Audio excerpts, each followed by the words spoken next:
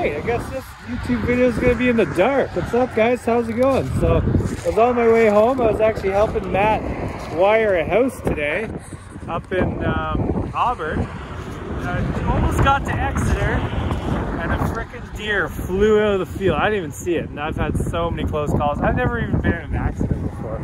Anyways, lock tires up, swerved, just clipped him with the front of my truck. So I'm actually out looking for the deer right now. He's gone, but uh, cops are on their way. So ah, I'm mad. I'm pissed off. The truck's all dinged up. I'll show you the damage in a minute. Uh, uh, pisses me off. I'm sure plenty of you have hit deer, but uh, it happens, I guess. Well, that was quick. Cop just left, checked her out. There's a lot of damage. I'll uh, once I get back to the house, I'll kind of I'll shine some light on it and show you guys, but I don't think it's gonna be cheap.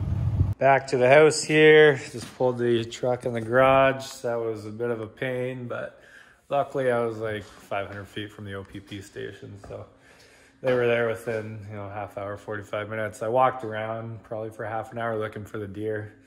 Long gone. I had about 100 messages. Bring it home. We'll chop it up, but that thing's got a broken hip and it's probably dead in the woods somewhere. So anyways, um, it doesn't look that bad on video, but I think it is fairly bad. I don't know. I've never been in an accident before or hit a deer.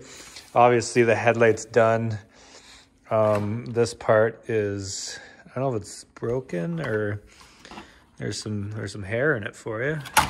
But as you can see, the, this panel is bent all the way over and it's torn right here. So stupid aluminum. I should fricking grab onto this and see if it'll tear apart. And then obviously this, but, um, and there's a nice little fold there.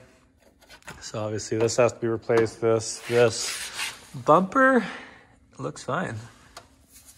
I don't feel, feel anything. Um, yeah, other than that, this stuff that's what it looks like underneath, if you're wondering. So was missing a high beam all the way home too. So anyways, that sucked. Um, I'm sure plenty of you guys have hit deer, been in accidents. So this is my first time, but um, yeah, it happens, I guess. So I will call insurance tomorrow, deal with it. I'll let you know how much it is.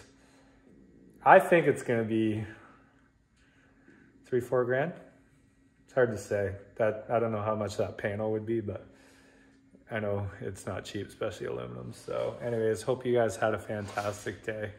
I'm tired. Um, I'm gonna go to bed. So thank you guys for watching. Uh, we'll get some stuff done this week. Uh, see you later.